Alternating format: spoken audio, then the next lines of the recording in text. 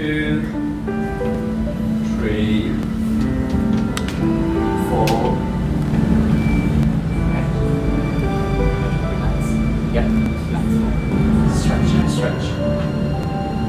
Good.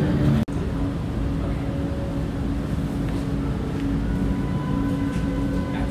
Relax. Yeah, you got space. Slightly. Yeah. You're quite flexible. Okay, so in this pose, right, never, never have a pressure here. So how do you engage and distribute your weight? Is engage here, body lengthen, shoulder relax. So that you should never feel pressure here, else you'll be damaging okay?